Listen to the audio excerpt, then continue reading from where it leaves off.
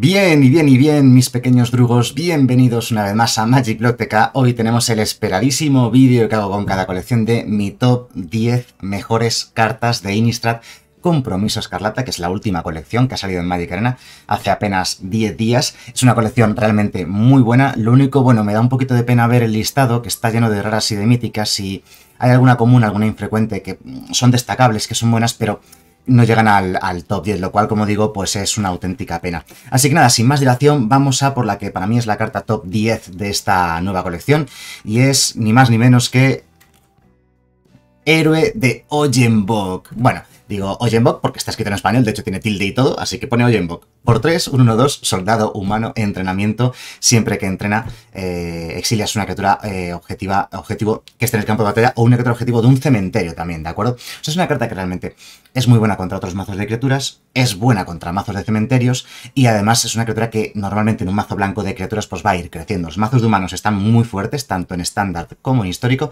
y esta carta, eh, aunque no se está jugando demasiado todavía en los mazos mono blanco, agro, Basta que el mazo de humanos empiece a ser un poquito bueno para que veamos otra vez eh, mucho juego en esta carta. Además, bueno, luego, lo típico de este tipo de criaturas, ¿no? Cuando deje el campo de batalla, se recuperan las criaturas que hayan sido exiliadas previamente por él, ¿no? Bueno, como su propio nombre, como su propio texto indica, de acuerdo la habilidad de entrenamiento, si la queréis leer, es eso, tiene que atacar con otra criatura más fuerte que ella y entonces se le pone a sí misma un contador más uno más uno, lo cual también genera sinergias con otras cartas eh, que se están jugando bastante en estándar. Vamos a por el puesto número 9, en el cual he decidido poner Voz de los Benditos. ¿Por qué? Porque esta carta es una de las cartas más queridas de la colección, sobre todo por los jugadores casual. Porque los jugadores casual, los jugadores de toda la vida, los jugadores que les gusta simplemente disfrutar del juego, porque sí, eh, les encanta ganar vidas. y este bicho está relacionado con ganar vidas. Es al menos tan bueno como un compañero de manada de Ahani. Por 2, un 2-2 que crece, que le vas poniendo contadores más uno más uno cada vez que ganas vidas. Lo que pasa es que este es mucho mejor. Primero porque es clérigo, lo cual es un tipo de criatura muy interesante para mazos de clérigos. Es espíritu para un mazo de espíritus. Y lo siguiente es porque si tiene 4 contadores más uno más uno, gana volar y vigilancia. O sea, puede atacar, bloquear y encima con evasión, que es justo lo que le fallaba al compañero de manada de Dajani, que acababas con un compañero de manada de Dajani 20-20, pero te bloqueaban con un 1-1 y ya está, ¿no? Este no, este gana volar y vigilancia, puede atacar y además luego bloquear. Pero si tiene 10 o más contadores sobre él, más uno más uno, gana también, además, indestructible. O sea, que ya no lo matan tampoco ni siquiera las, los removals masivos de destrucción, ni los de destruye criaturas, ni ese tipo de cosas, las iras de Dios, digamos, ¿no? En general. Cosa que sí afectaba al eh, compañero de manada Hani, como os estaba diciendo. Por eso, bueno, por todos estos motivos, he decidido poner Voz de los Benditos como el top 9 de mejores cartas de esta colección. Ya sé que no se está jugando ninguno de los top tier, de los tops, mazos top del formato, porque hay una mono blanca de ganar vidas, hay un mazo blanco-negro de clérigos de ganar vidas, blanco-verde también, pero no son, no son tops, son buenos mazos, son mazos decentes, algunos de ellos son suficientes para llegar a mítico, pero no están en, el más, eh, en lo más alto, digamos, de los 4 o 5 mazos top del formato, ¿no? Que son los que hemos estado revisando los días previos. Vamos a por el top número 8. Protectora del cementerio. Esta carta ya está viendo algo de juego en los mazos Azorius de control. Por 4 es un 3-4 destello, es decir, lo puedes parar a velocidad instantánea en cualquier momento, lo cual ya lo hace como mínimo interesante. Por cierto, vuelvo a lo de antes, es de tipo de criatura humano, lo cual te da juego para algunos mazos de humanos o cosas por el estilo. Pero no hace falta que sea un mazo de humanos donde entre esta protectora del cementerio, porque lo importante es, bueno, cuando entra en el juego, exiliar una carta a un cementerio. Eso no es importante, aunque exiliar carta al cementerio nunca está mal. Lo importante es lo que pone justo debajo, el último párrafo de sus, de sus líneas de texto, ¿no? Siempre que juegues una tierra o lances un hechizo, o sea, prácticamente siempre que hagas algo, ¿no? Si comparte un tipo de carta con la carta exiliada, y es donde importa realmente lo que has exiliado. Tienes que exiliar, pues, por ejemplo, un instantáneo, un conjuro. Pero bueno, esto esto va a ser fácil. Eh, si tú tienes muchos instantáneos en mano, vas a exiliar un instantáneo. Si, si estás jugando un mazo de criaturas, vas a exiliar una criatura. Ese tipo de cosas, ¿no? Bueno, pues si comparte un tipo con la carta exiliada, entonces creas una ficha 1-1. O sea, es decir, esta protectora del cementerio, una vez que está en mesa, si no te la matan automáticamente o cosas del estilo, y exilias la carta adecuada de un cementerio, a partir de ahí vas a poner un montón de tokens 1-1. Porque cuenta tierra, ¿vale? O sea, es decir, si exilias una tierra de un cementerio cada vez que juegues tierra, eh, vas, a, vas a poner token. Y bueno, ya digo, si tienes la mano llena de instantáneos, que va a ser lo más probable porque esta criatura en sí misma ya tiene destello, o sea, juegas en el turno del rival, digamos, es la, es la pretensión, ¿no? De un mazo de instantáneos o de cartas con destello, jugar las cartas en el turno del rival para pillarle por sorpresa. Vas a poner un montón de tokens uno a uno. Bastante, bastante buena esta carta, como digo, no está tampoco en un mazo top, porque la Zorius de control no es top, top, top, no está en el tier 1, digamos que es un tier 2 bastante bueno, pero estoy viendo, estoy viendo bastante esta carta ya en, ese tipo de mazos, y seguro que va a empezar a verse en otros tipos de mazos. Bueno, pues esta era la top número 8. Vamos a por el puesto número 7 de Innistrad Compromiso Escarlata. En el puesto número 7 he decidido poner las tierras dobles de esta colección. Eh, no son excepcionalmente buenas, pero son las que tenemos en estándar. La verdad es que tampoco son tan malas. Cuanto más las, cuanto más las juegas, mejor te van, te van pareciendo. Si, en el primer turno no tienes jugada, pues haces una, una de estas tierras. Entra girada y ya está. Y luego, si en el segundo turno quieres jugar algo, pues te la guardas en mano. Y en el tercer turno ya entra enderezada. La verdad es que entra enderezada bastante pronto y es bastante útil. Es una lástima que no tenga los tipos de tierra básica. O sea, esta tierra, por ejemplo, en particular he puesto este ejemplo, el azul-roja, ¿vale? Aunque hay otras combinaciones de dos colores. Em, no cuenta como isla o no cuenta como montaña.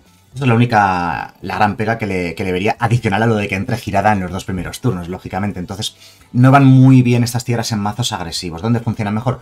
Mazos midrange, mazos de control, que van a jugar muchas tierras y a partir de ese tercer turno, pues ya te da absolutamente igual. Así que, puesto número 7 para la costa tallada por la tormenta y sus otras hermanas gemelas de otros colores, de otras, de otras combinaciones de colores. Puesto número 6, que va para la amalgama sobrecargada. Es otra carta que también estoy empezando a ver bastante Obviamente, primero en mazos de zombies, el mazo Dimir Zombies, o otro mazo que es un tier 2, pero no van nada mal los mazos de zombies, los hemos visto aquí en el canal en alguna ocasión. Todavía no los he jugado yo, pero me los han jugado, los habéis visto aquí, y, son buenos, no son malos del todo, ¿no? Por 4 es un 3-3, destello, vuela, o sea, ya tiene un par de virtudes, ya sé que por 4 solo un 3-3 es poco, pero tiene dos habilidades muy buenas como son destello, que lo puedes jugar a velocidad instantánea, y volar, que la hace más difícil de bloquear, ¿no? Pero es que tiene muchas más habilidades. Luego tiene aprovechar, bueno, muchas. Tiene otra habilidad muy importante que además es versátil, porque son tres opciones. Aprovechar. Cuando entra en juego puedes sacrificar una criatura, que puede ser ella misma, ¿vale? Y si lo haces, eh, contrarrestas un hechizo, una habilidad activada o una habilidad disparada objetivo. O sea, es decir, es versátil. Es un counter, este bicho por 4 es un counter, así de claro. Y puedes sacrificar cualquier bicho 1-1 que tuvieses por ahí, un token de cualquier cosa que no vale para nada, lo puedes sacrificar para contrarrestar, como digo, por solamente 4 de mana y quedarte con un 3-3 vuela, ¿vale? En mesa, lo cual es bastante bueno. En el mazo adecuado de sacrificar, la carta va de lujo, lógicamente, ¿no? Pero es que digo, contrarrestar un hechizo, cualquier hechizo, ¿vale?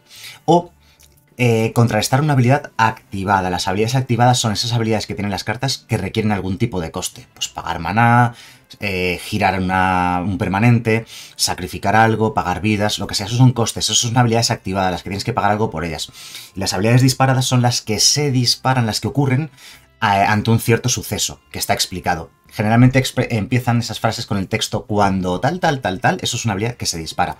Ejemplo, la propia amalgama sobrecargada tiene una habilidad disparada. Cuando aproveche una criatura, cuando se cumpla una condición, se dispara esa habilidad, que es contrarrestar hechizo, habilidad activada o disparar. Es decir, tú puedes contrarrestar la habilidad de la amalgama con otra amalgama. Esta carta, a ver, de momento se está viendo únicamente en zombies, porque es zombie y porque encaja muy bien la temática de aprovechar el mazo de zombies. Pero ¿por qué no? Podríamos empezar a verla en otros tipos de mazos, eh, rollo tipo mono blue tempo, ¿no? Mazos que juegan criaturas eh, con destello en el turno del rival y luego muchos contrahechizos y cosas por el estilo. Realmente muy buena esta carta y por eso la he decidido poner en el top número 6. Aunque, bueno, ya os digo que tampoco está jugando ahora mismo eh, al nivel más alto, ¿no? No es un tier 1, no está en ningún mazo tier 1. Pero sí tier 2, yo diría el mazo de zombies. Vamos a por el puesto número 5 de este top 10 de mejores cartas de Innistrad Compromiso Escarlata. Y en el puesto número 5 he decidido poner Chandra vestida para matar, que de hecho es una de estas pocas Chandras que realmente está viendo algo de juego y realmente parece bastante buena. Se está jugando en los mazos Izet de dragones, Izet de turnos, los mazos monorrojos que he traído aquí al canal que son realmente bastante buenos, o sea, no hay que menospreciarlos, aunque la gente no los está jugando todavía aprovechad a jugarlos porque son buenos. De hecho, mucha gente me lo está diciendo, que los está jugando los mazos monorrojosos y que van como un tiro. Mi experiencia con los monorrojos agresivos, que los traje hace un, hace unos, hace un par de semanas aquí al canal de YouTube, eh, mi experiencia, lo que yo he jugado con ellos, es ganar prácticamente todas las partidas contra todos los mazos. Y esta chandra es clave en esos monorrojos, pero se está jugando en mazos eh, Grul, eh, mazos Temur, se está jugando en, los mazos Izet, ya digo, de control, mazos de dragones. Bueno, os traje también el otro día un mazo de Chandras de histórico bastante majete. Y bueno, pues es un Planeswalker de los buenos. ¿Por qué digo de los buenos? Porque es de los de coste 3. Los Planeswalkers de coste 3 históricamente siempre han sido los que más han roto el juego, porque entran demasiado pronto. Y los rivales a veces no tienen, no tienen posibilidad de reaccionar a un Planeswalker que entra tan, tan pronto. Entra con tres contadores, la primera habilidad le pone un contador te da maná y hace un daño a Planeswalker o jugador objetivo, que está bien. Esa aceleración de maná es muy, muy importante. La segunda habilidad es quizás la más difícil de aprovechar porque puede fallar muchas veces. La segunda habilidad da más uno y puedes em, jugar la carta del top de tu mazo que sea roja, ¿vale? Como las tierras no son, como las tierras son incoloras, no tienen color, no podrías jugar una tierra de esa manera. De todas maneras dice puedes lanzarla. Cuando dicen la palabra clave lanzar, hace referencia a lanzar hechizo. Eh, no, cuentan, no cuentan las tierras con la palabra lanzar, ¿vale? Eh, si dijese jugar, ahí sí se incluye las tierras, ¿de acuerdo? Pero da igual, como dice que es roja, pues no, no enroja la carta nunca a una tierra. Así que ya digo, este, este más uno puede fallar, o te puede ser una carta de coste 5 y tienes 4 de maná, entonces tampoco te sirve, o sea... La segunda habilidad es la menos aprovechable. No es mala del todo porque si la partida avanza y ya no necesitas el maná y hacer un daño es casi irrelevante, pues empiezas a activar la segunda habilidad, el más uno de Chandra. Y luego la última habilidad, el menos 7, es la típica habilidad que gana partidas, ¿vale? Es el típico emblema que obtienes, la típica definitiva, ¿no? Ultimate de Planeswalker, que básicamente te va a hacer ganar la partida. Miras cuántas son, son, es que nunca la vas a activar, lógicamente, es muy difícil llegar a 7. Pero si le llegas a activar, exilas las 5 primeras cartas del top y puedes jugar todas las cartas rojas que haya entre ellas, ¿no? Y además ganas un emblema que hace X puntos de daño, donde X es el coste de eh, cada hechizo que lances de aquí al final de la partida, porque ya tienes el emblema para siempre. Y esta sería, por tanto, mi top 5 de mejores cartas de Innistrad Compromiso Escarlata. Ya digo, otra carta que tampoco se está jugando ahora mismo muchísimo en tipo 2, no está en el top, bueno, sí, en la Sith, la Sith de dragones y de y de control, pero hay algunas versiones que ni siquiera la juegan. Por eso digo que tampoco es que sea un obligatorio ahora mismo en estándar, pero tened por seguro que esta carta tiene dos años por delante en estándar prácticamente y acabará siendo, acabará siendo muy importante en algún mazo, seguro. Puesto número 4. Táctica de alquimista. Otra carta que está viendo una cantidad de juego mm, moderada, vamos a decir una cantidad de juego moderada, porque aunque se está jugando bastante en los mazos IZ de control, IZ turnos, IZ de dragones incluso, tampoco es predominante. Se ve una o dos copias nada más. La que sigue jugándose a tope, pues es la Epifanía de Alrun que da un turno extra. Pero vuelvo, a decirlo de antes, la Epifanía de Alrun en septiembre del año que viene rotará fuera de estándar y este será el hechizo de ganar turnos que quedará en estándar. Así que si ahora mismo no está siendo muy importante es porque hay otro hechizo de ganar turnos mejor que este, pero eventualmente este pasará a ser el mejor hechizo de ganar turnos. ¿Y qué pasará? que será el hechizo importante.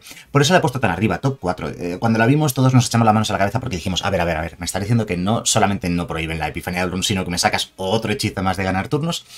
Pues sí, eso es lo que ha ocurrido. Esta carta al final puede acabar viendo juegos, eh, juego en mazos agresivos rojos. De momento, ya digo, sí, se está jugando en un mazo, en mazos tier 1, como son, por ejemplo, igual el caso de la Chandra, el Asicet de turnos, pero tampoco está destacando por ser demasiado, demasiado jugada ni demasiado potente. Lo que estamos diciendo antes de, la Chandra, que la puse en el puesto número 5 y a la táctica de alquimista en el puesto número 4.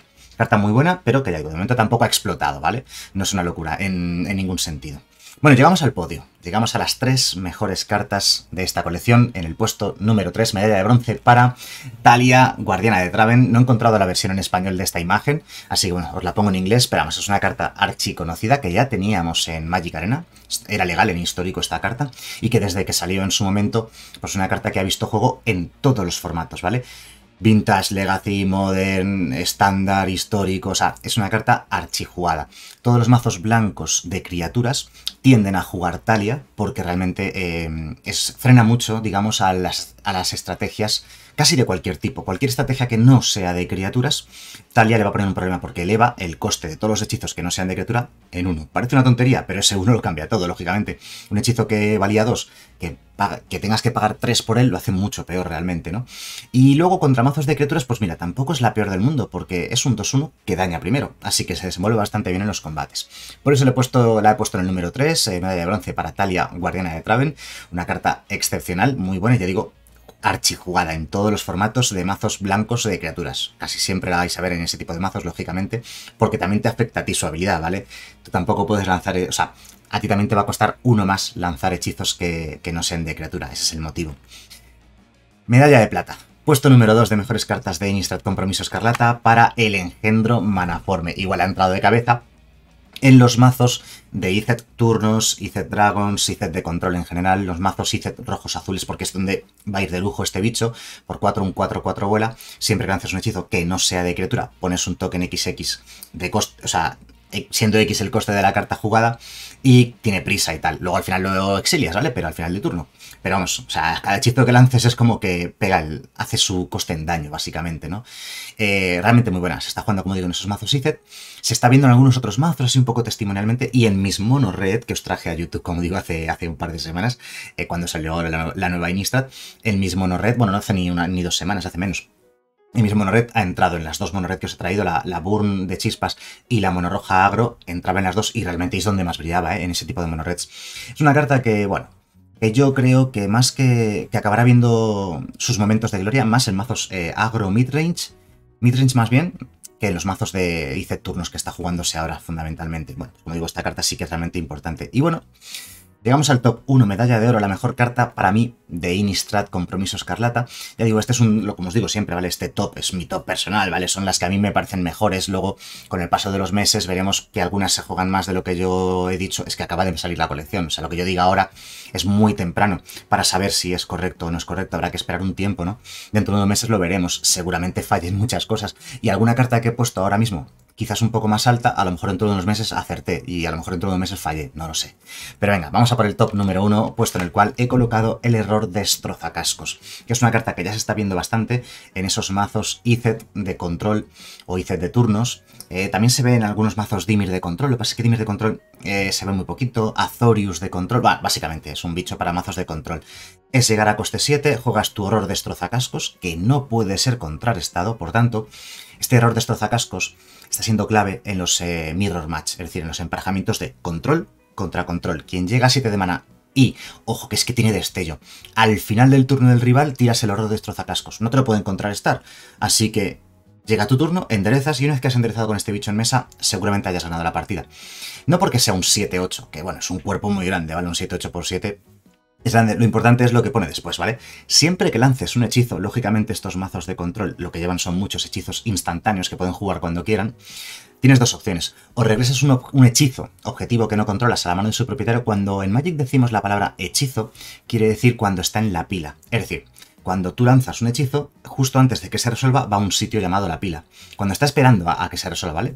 O sea, si si el rival, si yo tengo ya el, horror el horror destrozacascos en mesa y el rival tira, por ejemplo, decir cualquier cosa, me tira un choque a mí, a la cara, ¿vale? Me lo tira a mí. Un choque, ese choque antes de resolverse va a lo que se llama la pila.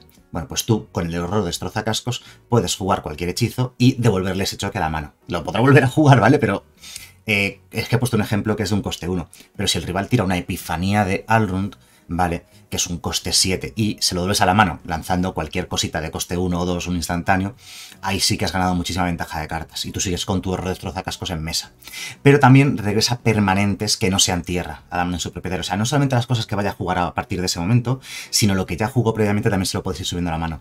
Eh, muy buena esta carta, realmente brutal. Cuando la vi dije, pero madre mía, este bicho es buenísimo. Y sobre todo en esos, esos enfrentamientos de control, ¿no? Control contra control. El que mete el horror destroza cascos primero en mesa, pues seguramente se lleve la partida y se la mete en el bolsillo.